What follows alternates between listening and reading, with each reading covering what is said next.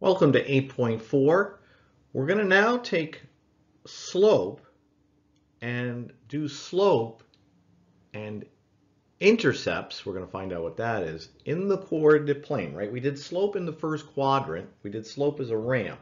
Now we're going to do it in the coordinate plane. First, let's remind ourselves how to do slope, right? So you find your good intersections. You don't have to copy this one. Just make sure you can find the slope. You find your good intersections. They have to, right? They have to be where the line perfectly hits an intersection is like a street intersection. You go down. When you get even with another intersection, you go across. How much it goes up is called the rise. And the rise here is 1. How much it runs to the right, and we always run to the right, is count the boxes, is 4. So the slope of this one is 1 fourth.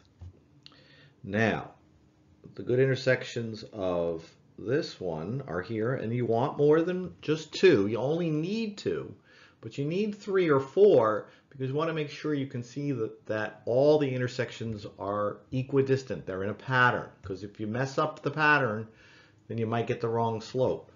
Right, so I'm going to do it right here. We're going to go down until we get even with another one. And notice the ramp now is facing the other way. And that's because although the run is always a positive number, when you're going down, the rise becomes negative. And so the slope of that one is negative two thirds. Now you put the negative two up top with the rise, or you can put it out in front. Every textbook will put it out in front. So it's negative two thirds, and it's because the rise is negative two there. Please, that's very important. Now, you're going to have arrows on both ends today, all right? But you only look at the arrow on the right, okay? This arrow is pointing down, that arrow is pointing up. These arrows that you'll see over here are because it's a line that goes on forever in both directions. Still just look at the arrow on the right. It will tell you whether it's going up or down. Okay, so let's look at our first one. We have a line and it's in the coordinate plane. So we're going to find the slope of line AB. You find a good intersection, you go straight down, and yes, you should draw a little sketch of this. So here, and that point is 1, 2, 3, 4, 5, 2. And the other point is 1, 2, 3, 4, negative 5, negative 2. And there's also one at 0, 0. Whoops. And you should draw better than Mr. Benn. So there, there's the sketch. How long did that take us? Not long. And you go straight down and then straight over to the next intersection, right? So straight down and straight over. The rise is 2. The run is one, two, three, four, five, And so the slope is the rise over the run, 2 fifths. Now, usually when I do this in class, I usually get some people, because they see the A and the B, they do this. They go down and they go over to A, which Let's see what happens when you do that. Well, you get a rise of 4 and a run of, you count this, it's 10. You get 4 tenths, right? But 4 tenths can never be the answer to any fraction because you always have to simplify. When you miss an intersection, you will have to simplify your fraction. That's why you want to make sure you've got the pattern of the intersections, right? And right, you, that's how you also tell whether these things that look like they're could be possibly be a good intersection are or aren't because the good intersections make a pattern, an equidistant pattern. All right, that's what we're doing today. All right, so this is just notes showing you uh, that you don't pick where it's red there and you do pick here where it's blue. So let's look along here. I think I see one there. The zero, zero is given to you. All right, there's one there, there's one there.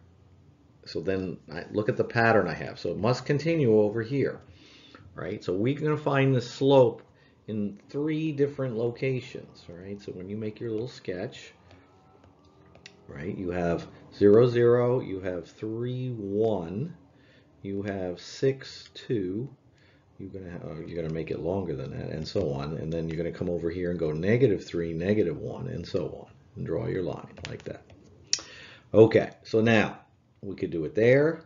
We could do it there. We could do it here. It doesn't matter. In all cases, you have a rise of 1, a run of 3. This is a slope of one third.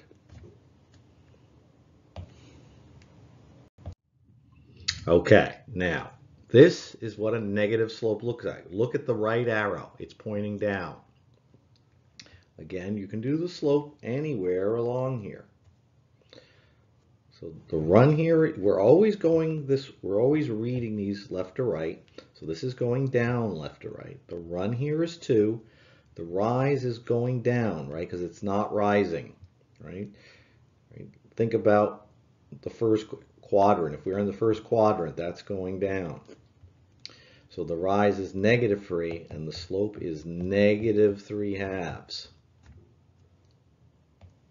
Oops, let me get that out of the way. So this one was slope equals negative 3 halves. Same thing here. There's also a good intersection right there and there. Notice I didn't draw my line all that well. But, I, whoops, I didn't, I did, oh, I messed up. I, no, it's not there, it's there. Right, because I saw this was at 5, so then this can't be, 9 can't be right. It must be at 10, right? Goes 0, 5, 10. Negative 5, negative 10 there. Okay, so now, this one is also going down. We can also, right, do the slope anywhere along there. So the run is positive 5. The run is always a positive number. The rise is negative 1. And so the slope is negative 1 fifth. Okay, so we have three lines there. Two of them are horizontal. One is not. So make sure, you, I want you to first find the slope of the horizontal lines. The horizontal lines are the ones that are perfectly flat. So notice line GH here. Let's, I'll call it line. So GH, and you put a picture of a line on top of it. That's how you write the line GH. Now, this is at 4, but that doesn't matter. It's at 4 here, and it's at 4 the whole time. So the rise is 0. It doesn't matter where it is, all right? The run also doesn't matter. I mean, it goes from negative 10 to positive 10, but on the graph, it actually goes forever in both directions. So you could put 20 down here, you could put anything. Slope of all horizontal lines is zero. So what's the other horizontal line? The other horizontal line is JK. And again, it doesn't matter that it's going through negative 7.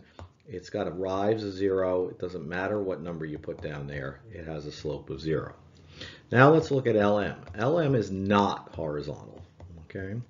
It starts there, goes all the way across, and there's the rise. The rise is 1.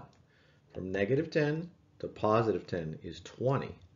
And that has a slope of 1 20th. That's the lowest non-zero slope, slope above zero that I can do, right? That's as flat as I can make them that's not zero because the grid only goes from negative 10 to positive 10.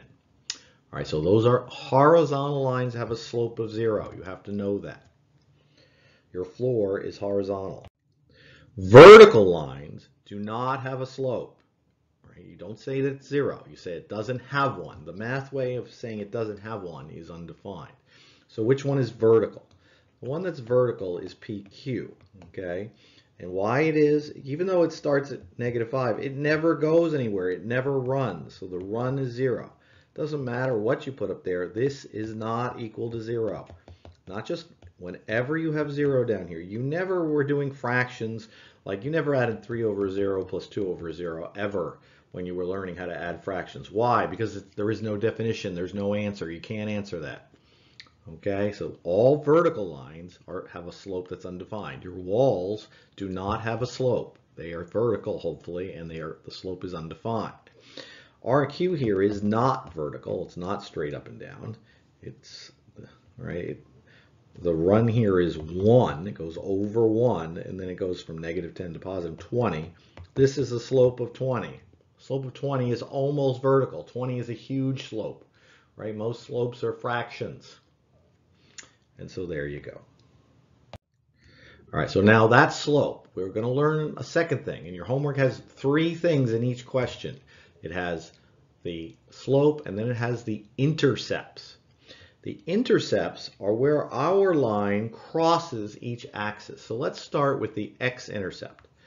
The x-intercept here, find that. Where does that blue that I just outlined in blue cross the x-axis? So here's the x-axis. Where do they cross? They cross right there. Now an intercept is a point, an ordered pair. So you don't say 5, you say 5, 0. For that is the x. You can't abbreviate that x because x is x coordinate. So it's x, you're going to write it out, sorry. x-intercept is 5, 0. All right, now the y-intercept is where our line crosses the y-axis. So where do they cross? Well, it crosses the y-axis right there. And the y-intercept will always start with a 0. The x-intercept will always end in a 0. Where our line crosses the y-intercept, is that. Now, I didn't ask that, but you would then, on the homework, you'll find those two things, and then you'll also say the slope. The slope of this one is, what, 2 fifths. You'll say slope equals 2 fifths. That's what your homework looks like. Three things labeled, and no abbreviating y-intercept y, because y is this y coordinate. Okay, know your vocabulary. Let's do this again. All right, so let's start with the x-intercept, right? Our line crosses the x-axis right there at 6, 0. That is the x-intercept. And then it crosses the y-axis right there at 0, 4. So you at home are making a little sketch of this and you're going to show 1, 2, 3, 4, 5, 6, 0, and you're going to do what I wrote, x-intercept.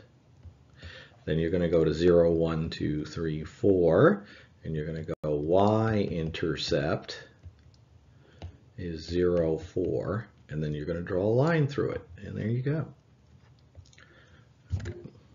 And that's we're labeling that the y-intercept. And in your homework, you'll also find the slope. This one is negative 2 thirds. Okay, see we can do all that. Let's practice. Okay, you don't have to sketch these. You can just look at the screen and do this and write down the answers. But there's an intersection, there's an intersection, there's an intersection, there's an intersection. We're going to need some of these intersections. So let's start with the x-intercept. So this one, the x-intercept, negative 4, 0, right? X-intercepts will be a number and then end in 0 because they're always along the x-axis. And all the points on there end in a 0. Then we'll go to the y-intercept where it crosses the y-axis. And that is always going to start with 0, 0, 2 in this case. And that is my y-intercept. And then you find the slope anywhere you want. The rise is 1, the run is 2, and you write the slope equals 1 half. That's what your homework looks like. Okay, in fact, and speaking of that, let's, instead of doing all those, show, you know, show that's the x-intercept, show that's the y-intercept. Okay, better, better way to show it. All right, so x-intercept is right there, and that is negative 3, 0. Y-intercept is right there, and that is 0, negative 6. right? Notice those are points. Now we need to find the slope, right? There are a bunch of points. I'm going to do it right there. We're going down 2 and over 1. This is a slope of negative 2, right? Because this is this right arrow is going down. This right arrow is going up. If you're having trouble, picture, right, you didn't have trouble when it was in the first quadrant, right? This one would look, it's not in the first quadrant, but, right, it would be down if it was in the first quadrant. All right, so here, oh, this is interesting. Every intersection is good. All right, I think there's a bunch of these on the homework. And so the x-intercept and the y-intercept are the same point. Why are they the same point? Because it goes through 0, 0. I think there's several questions on the homework where that's true. That makes your life easy. And then the slope here is down 1 over 1, right? Down 1 over 1. So slope is negative 1 over 1, right? We're going down 1. This is an arrow pointing down, and so the slope here is negative 1. Good luck on the homework.